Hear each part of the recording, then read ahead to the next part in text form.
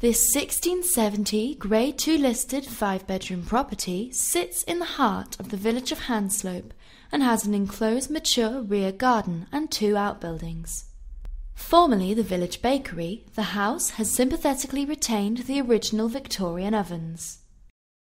With two bay windows to the front and two windows with seating looking out to the rear garden, this sitting room also houses a stone built fireplace with wood beam and slate hearth. An inglenook fireplace with wood beam and tiled hearth and stripped floorboards characterize the dining room. The kitchen breakfast room houses the original Victorian cast iron ovens and has also been fitted with modern units a stove gas cooker with extractor fan, and an integrated dishwasher, and has space for a fridge and freezer. Upstairs, an extensive L shaped landing leads to the light and airy master bedroom. This room has a brick built fireplace, a window with a seat to the front aspect, and box bay window to the rear.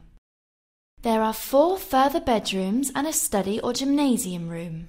This bedroom has a bay window with window seat to front aspect and a feature fireplace with beam.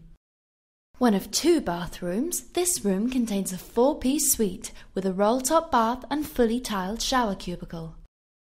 Outside, there is a five bar gate with access from the front, leading to an area for off road parking and onto the fully enclosed rear garden, comprising of a lawned area, gravelled area, and patio.